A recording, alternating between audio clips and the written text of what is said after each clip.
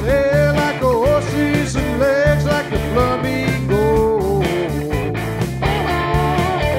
She has hair like a horse's and legs like a flamingo. But something deep down says.